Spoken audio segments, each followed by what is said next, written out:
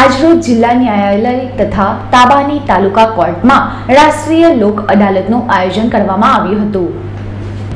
રાષ્ટ્રીય કાનૂની સેવા સત્તા મંડળ નવી દિલ્હીના આદેશ અનુસાર ગુજરાત કાનૂની સેવા સત્તા મંડળ અમદાવાદના ઉપક્રમે ભરૂચ જિલ્લા કાનૂની સેવા સત્તા મંડળ દ્વારા મુખ્ય ન્યાયાધીશ સીએમ ભટ્ટના માર્ગદર્શન હેઠળ તેમના હસ્તે નેશનલ લોક અદાલતનું ઉદ્ઘાટન કરી ખુલ્લી મૂકવામાં આવી હતી.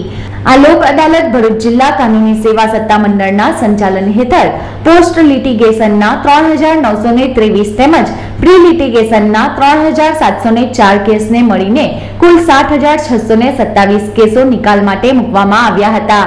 આ લોક અદાલતમાં ભરૂચ જિલ્લાના અન્ય ન્યાયાધીશો, વકીલ બાર એસોસિએશનના પ્રમુખ સહિત મોટી સંખ્યામાં વકીલ ભાઈઓ અને બહેનો ઉપસ્થિત રહ્યા હતા.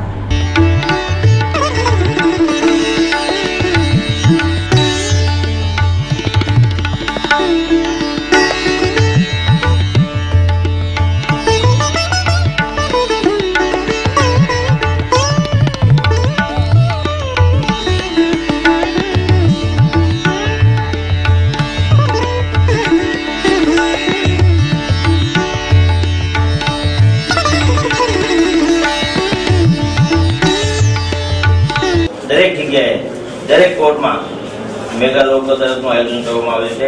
તે રીતે આપણે ત્યાં ભરૂચમાં પણ લોક અદાલતનું જે આયોજન થયેલું છે, તેમાં કુલ સાત હજાર છસો ને સત્યાવીસ કેસો મૂકેલા છે. જે પૈકી લોક અદાલતના કેસો ત્રણ હજાર ત્રણસો એકોતેર છે સ્પેશિયલ સિટિંગના પાંચસો બાવન કેસો છે અને તે સિવાય પ્રી લિટિગેશનના ત્રણ હજાર સાતસો ને ચાર કેસો મૂકેલા છે. જેમાં જુદી જુદી સંસ્થાએ ભાગ લીધેલો છે.